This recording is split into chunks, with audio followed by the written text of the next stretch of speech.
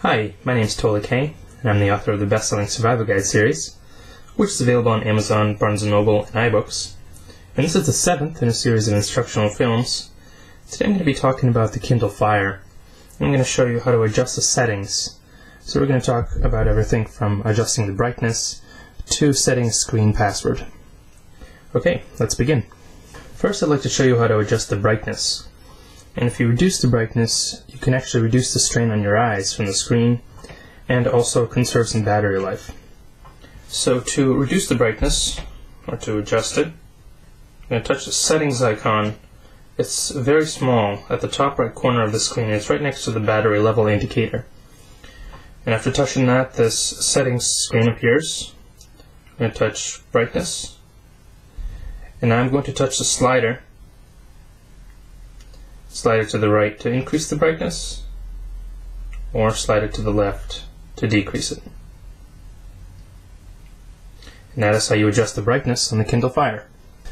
Next I'd like to show you how to set the screen timeout, which is the amount of time the Kindle Fire will wait before automatically locking itself. If you find yourself often leaving the Kindle unlocked, or if you have kids who just leave it around, the screen can actually really kill the battery life very quickly. So to set the screen timeout, I'm going to touch this little settings icon at the top right again, and then touch more. I'm going to touch display, and touch screen timeout. And it gives me options anywhere from 30 seconds to an hour. Right now I have it selected as never, which is another option, and that means it will never lock itself automatically. You can still lock it by using the power button, however. So if I choose 30 seconds for instance, it will now lock itself after 30 seconds of being idle. So just like this, if I just don't touch it, it will lock itself. So for now I'm going to set it back to never, so it doesn't lock itself while I'm recording this video. And that is how you set the screen timeout on the Kindle Fire. When you first take your Kindle Fire out of the box, you might notice that there are no volume buttons anywhere on the device. Now this makes for a very minimalistic design, where everything can be controlled using the touchscreen. But not to fear, adjusting the volume is actually very easy.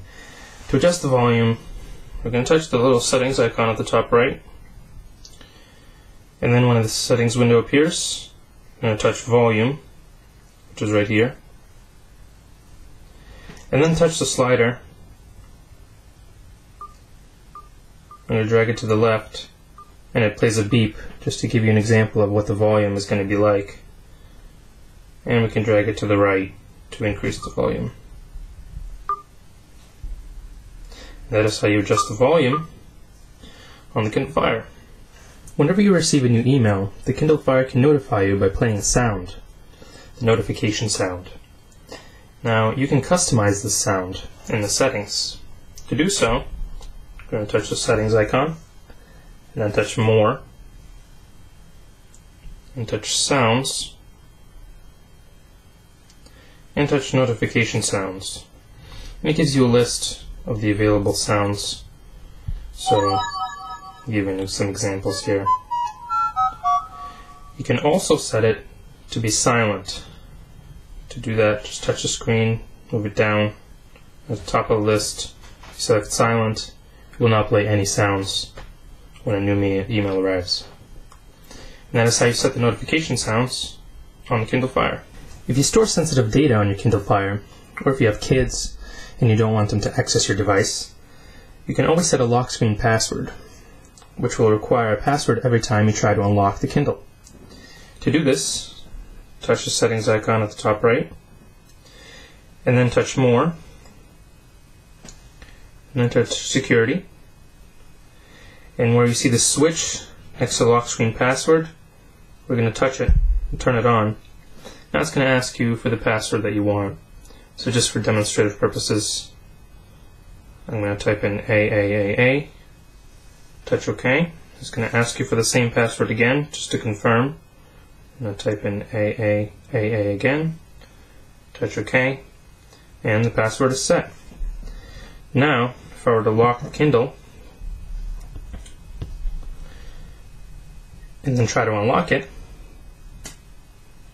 it will ask me for a password. And I'm going to type AAAA AA, touch OK, and my Kindle Fire is unlocked. And that is how you set a lock screen password on the Kindle Fire. It's an additional note about the lock screen password. You can always turn it off by touching the settings icon and touching more. Touch security just like we did before. And as you can see it's turned on at the moment. So I'm going to touch the switch to turn it off and it's going to ask me to enter the current password.